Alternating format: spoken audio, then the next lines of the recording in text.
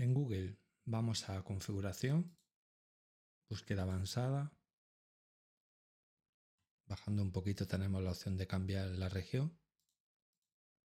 Podemos seleccionar el país que queramos. Mm, subimos un poquito y buscamos ya el término que queramos.